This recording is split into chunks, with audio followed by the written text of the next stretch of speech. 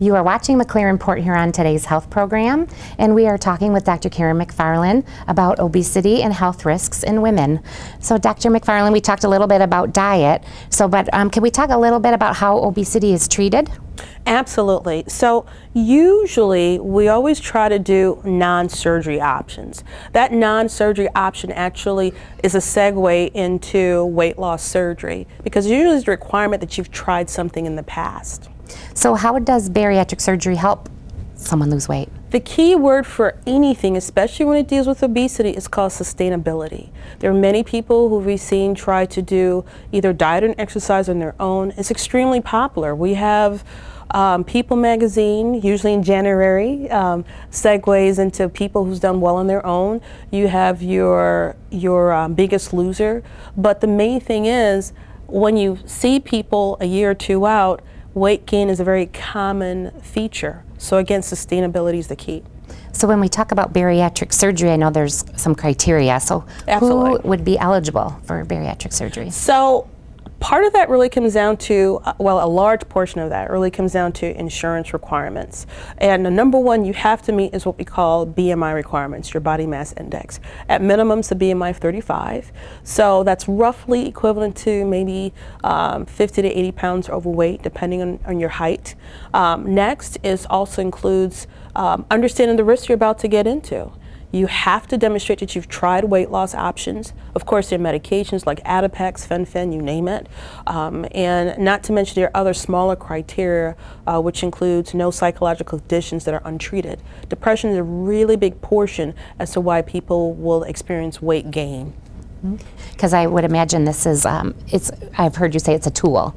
Absolutely. Ba bariatric surgery is just another tool that that can help the patient. Most of the problem that we have is behaviors.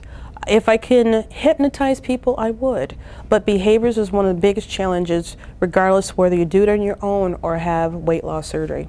So what types of weight loss surgery options are available here at McLaren Port Huron? We, we have three main types. That includes the adjustable gastric band, otherwise known as the lap band in the past.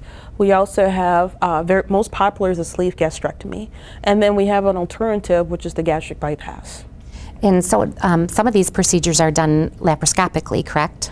Actually, thank God for technology, all of them are done laparoscopically. It's very unusual to do open surgery now. And so what are, would be the benefits of having it done laparoscopically versus open? Well, procedure? for example, laparoscopic surgery, most of the time people could usually go home, let's say overnight. Um, if it's a sleeve, if it's a band, you go home the same day bypass nowadays, we now have a tool we call robotic surgery, and we are seeing people go home indistinguishably the same time, which is usually the next day. So it's going home quicker, quicker recovery, less blood loss, less pain, and plus it looks better. You don't have as much incisions on your belly. Yeah, that sounds great. Um, so you talked a little bit about the lap band or the gastric band. Can you explain what that is? Oh, well, the, the reason we can't use lap band anymore because the company has now um, been absorbed. Um, so we do have, let me show you a diagram. So the band really is a plastic apparatus. It's made of silastic band or silicone, very similar to silicone implants, if you will. And we place this belt, if you will, right on the very top portion of the stomach. The idea is it's supposed to control your appetite or your sensation of feeling full. The way we do that is attached to a long tubing that gets right underneath your skin. So this port, if you will, feels like the, the back of your knuckle. And that's what we as physicians use to be able to access the port, place fluid, and then adjust the band such that you have a smaller pouch and food goes in much slower. We actually have an animation that we can go over as well. Okay, so usually when we start, we start with small incisions. Those small incisions are roughly about as wide as your index fingernail. We use adapters called ports to be able to access into your body. Okay, our physical hands are not in your body. It's actually instruments roughly the length of this pointer. As we use those apparatus or the ports, we focus on the very top of the stomach, we distinguish between the esophagus and the stomach.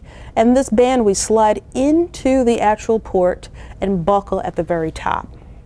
Now, normally, food would go very easily into the stomach, uh, from the esophagus into the stomach, but now with the band, you see food will slowly trickle in.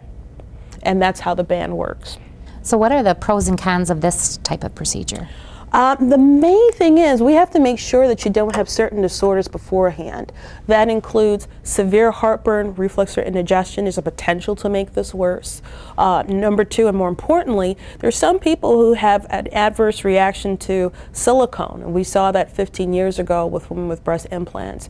So if you have a personal family history of lupus, we have to be very cautious because we can actually make your symptoms worse.